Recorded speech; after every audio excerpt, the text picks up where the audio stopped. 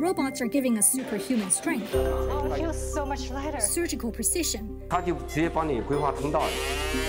And even a new kind of companionship. With two thirds of the world's robotics patents filed here, China may be the ultimate testing lab for how AI helps us work smarter and live longer. Because with every breakthrough comes a new question.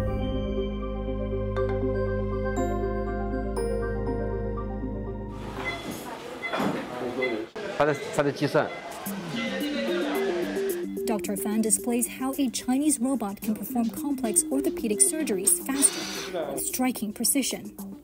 你看像那个打靶一样，你看到没？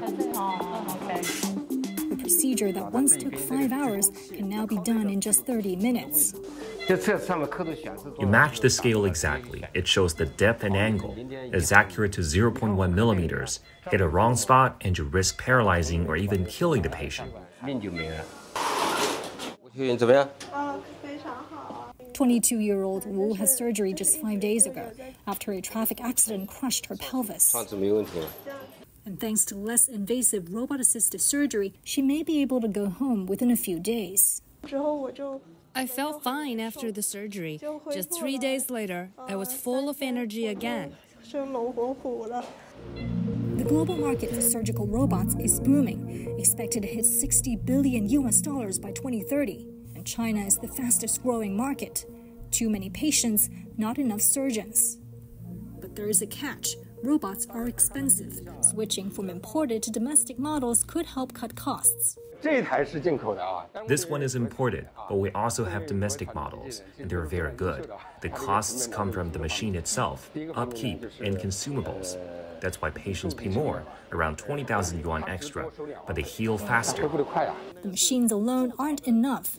This training center is helping doctors across South China master the new tech. So this is my crash course on robotic surgery, and this is a process called registration. Basically, we're telling the machine where the bone is.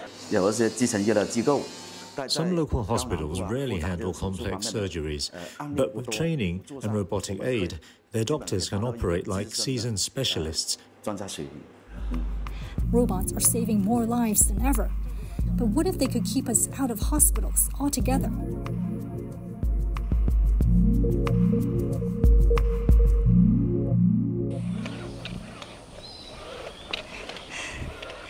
Normally, climbing up these steep steps wears me out after a while, but not today. I'm wearing an exoskeleton hiking assist.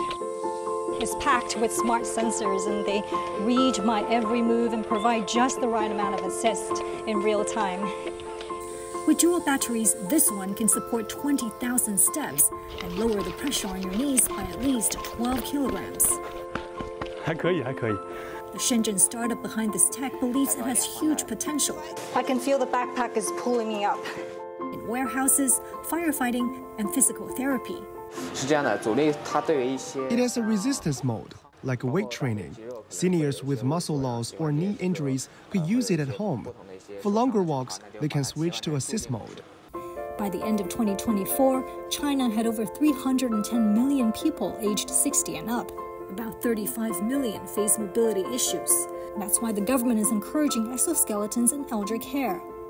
And with more than 55 million people working in logistics, these wearables could reduce injuries company founder Yu Bo says they can't make them fast enough.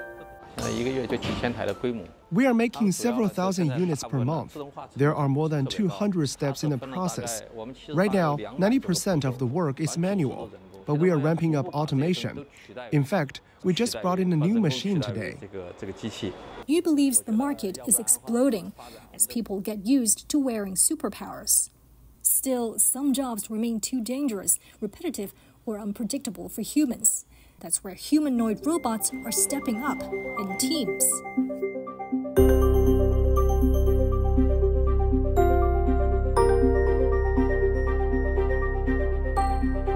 This isn't animation. It's the world's first humanoid team collaborating across tasks in a real factory.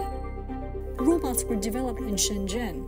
With an AI brain network, these robots learn on the job and talk to their teammates. They could help fill China's 30 million worker shortage, taking on repetitive tasks or risky inspections. But how useful are they if they move this slowly? Humanoids today can already run at 12 kilometers per hour, enough to finish a half marathon. In factories, they're slower due to limited training data. Our goal this year is 50% of human efficiency. Since robots don't rest, they'll eventually outperform us. From building cars to saving lives, these robots aren't just solving China's challenges. They're collecting the training data that could boost productivity worldwide. The question isn't whether robots will make us more efficient, but how soon we'll all benefit from what China is learning right now.